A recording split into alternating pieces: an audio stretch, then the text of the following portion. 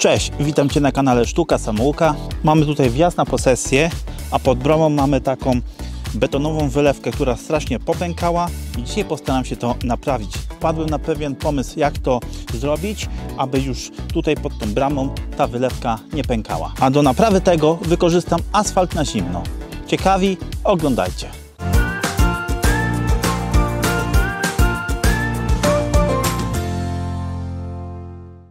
Asfalt taki jest mieszanką elastyczną, więc tutaj już nic nie powinno pękać. Tym bardziej, że mamy tutaj ten wjazd do posesji asfaltowy, więc ładnie będzie się to komponować. Nie ma co gadać, trzeba brać się do roboty. Rozwijam przedłużacz, podłączam sprzęt i skuwam cały popękany beton. Wszystko co jest luźne usuwam.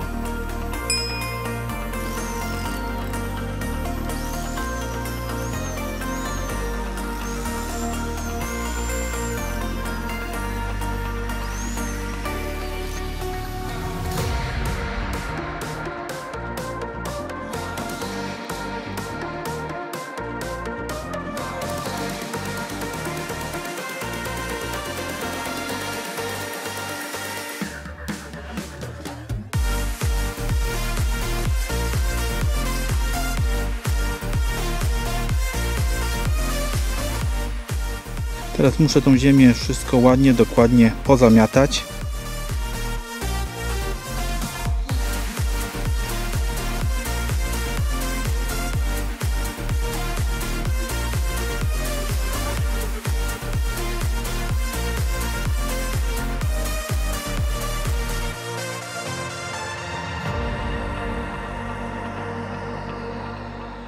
Co mogłem, miotką pozamiatałem ale tutaj jeszcze zostało troszeczkę takiego piasku, ziemi, a że mam sprężarkę pod nosem, więc powietrzem jeszcze wszystko tutaj przedmucham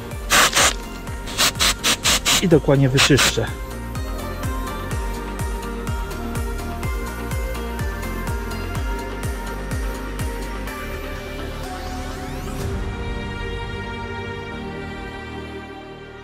Powiem kilka słów o samej mieszance.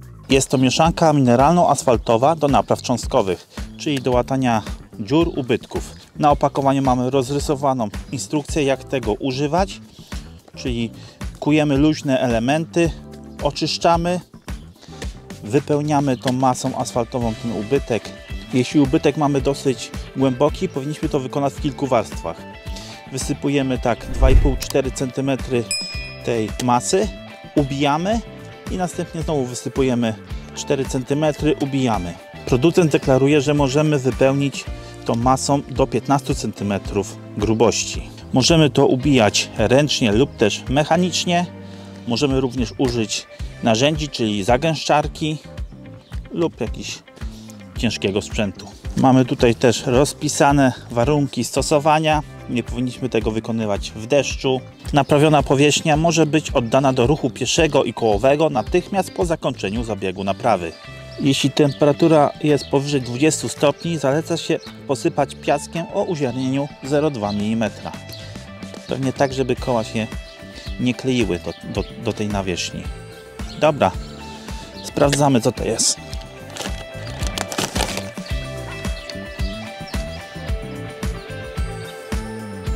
Do ubijania mieszanki asfaltowej akurat mam na stanie i użyję takiego ubijaka ręcznego.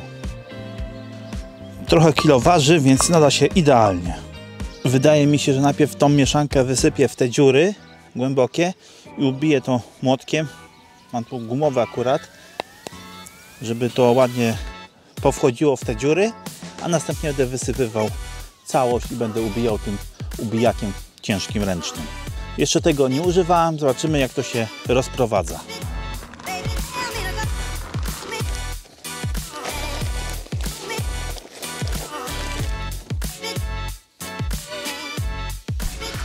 Spróbuję właśnie te strzeliny wypełnić, te dziury.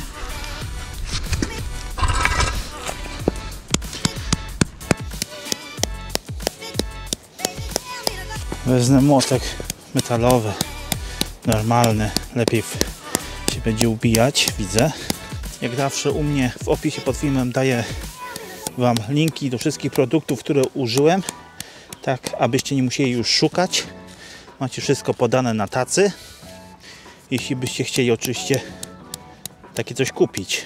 Chciałem Wam pokazać, że jest coś takiego jak asfalt na zimno, bo nie każdy może o tym wiedzieć i możecie to u siebie wykorzystać. Nie jest jakieś chyba trudne i skomplikowane. Po prostu wysypujecie, ubijacie. To nie jest beton, mieszanka jest, można powiedzieć, jak asfalt elastyczna, więc nie powinno tutaj nic strzelać, pękać już. To jest coś takiego, jak drogowcy łatają dziury. Jak się wysypuje tą masę z opakowania, to ona taka jest, jak widać, się rozchodzi na boki. To nie jest jakieś takie sklejone ze sobą. To się ładnie rozpada. Tutaj jest mała głębokość, także spróbujmy po całości teraz to wysypać i utwardzić tym ciężkim ubijakiem. Grabkami możemy to troszeczkę rozciągnąć. Musimy wysypać to troszeczkę wyżej niż jest ta kostka, ponieważ podczas zagęszczania to wszystko osiądzie.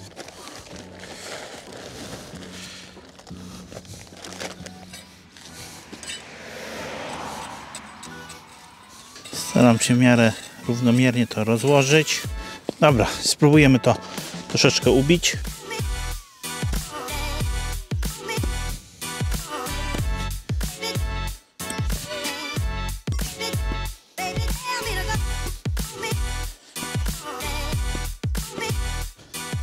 Dzisiaj siłownia mi już nie będzie potrzebna. I musimy to dobrze zagęścić. Ja zagęszczarki nie mam. Mam za to taki ubijak.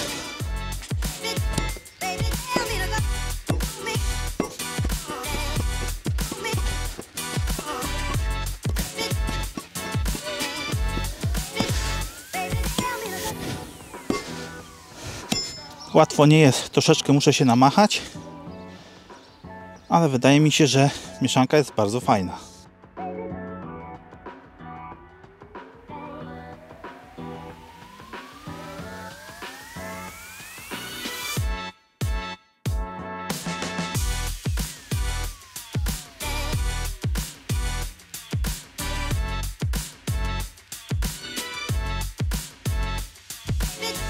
Jak na razie zużyłem dwa worki i wstępnie można po tym chodzić.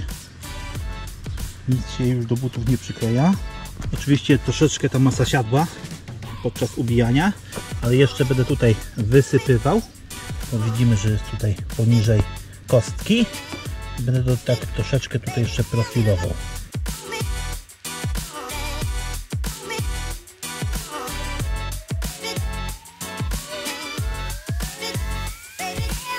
A na koniec jeszcze tą końcówkę tutaj pachelką tutaj ładnie wyrównuję i za pomocą takiej kantówki drewnianej, młotka po prostu dobijam. Równam i dobijam, żeby to było ładnie estetycznie. Na całość zużyłem 5 worków mieszanki asfaltowej, co kosztowało mnie 192 zł. Robotę już prawie zakończyłem. Masa jest dobrze ubita, nic się pode mną nie ugina. Nie przykleja się do obuwia.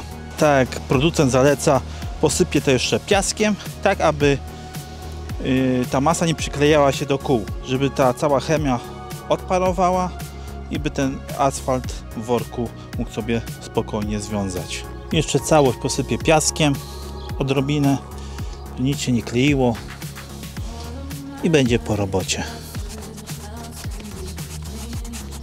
I tak prezentuje się zakończona robota przy podjeździe. Asfalt w worku na zimno to ciekawe rozwiązanie.